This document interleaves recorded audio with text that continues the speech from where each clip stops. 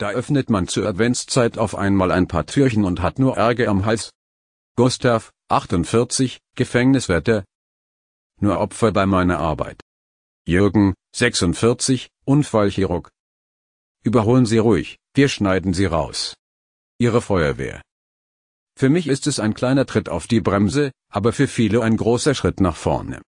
Armin, 43, Busfahrer. Mein Papa hat jetzt über 252 Leute unter sich. Er ist übrigens Friedhofsgärtner.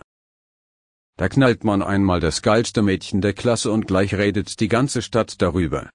Theodor, 57, Grundschullehrer. Warum gucken immer alle so komisch, wenn ich das Messer ablecke? Christian, 34, Chirurg. Ich treffe in meinem Beruf jeden Tag neue Menschen. Frank 29 Scharfschütze bei der Bundeswehr. Jeder kennt den Moment, wenn man im Auto sitzen bleibt, um das Lied zu Ende zu hören. Jochen, 54, von Beruf Notarzt. Ich falle gerne mit der Tür ins Haus. Frank, 39, SEK-Einsatzleiter. Ich habe ein Reh überfahren, das muss ich erst mal verarbeiten. Max, 46, Metzger. Da lässt man einmal was fallen und wird leicht gefeuert. Bettina, 39, Hebamme. Endlich mal die Ruhe genießen. Peter, 47, arbeitet auf der Intensivstation.